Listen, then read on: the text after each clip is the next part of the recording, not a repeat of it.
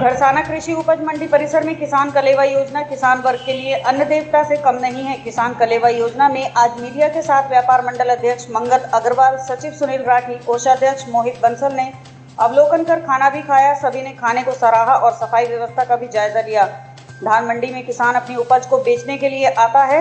व्यापारी से पर्ची लेकर पाँच रुपए जमा करवा कर पेट भर आराम से भोजन करता है। हम रोज़ाना 500 से 600 किसानों को भोजन पैकेट तैयार वितरण करते हैं। हम सोशल डिस्टेंसिंग का ध्यान रखते हुए हाथों में ग्लव्स व मुँह पर मास्क लगाकर खाने को पकाकर वितरण करवाते हैं। खाने के लिए सरकार एक व्यक्ति को तैतीस रूपए और पाँच रूपए किसान के कुल अड़तीस रूपए खाना सरकार द्वारा दिया जा रहा है। बताइए कलेवा योजना जो आपने चला रखी है किसानों के लिए, उसके बारे में बताइए, क्या कुछ दे रहे हैं?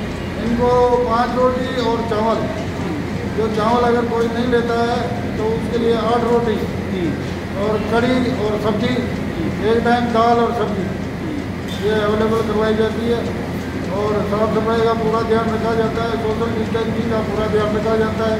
जिम्मेदार वहाँ से कूपन लेके आता है।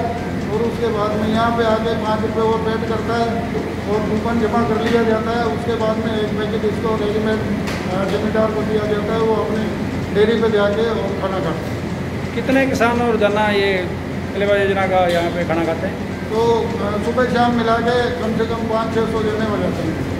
इसमें मजदूर भी आ गए जमींदार भी आ गए।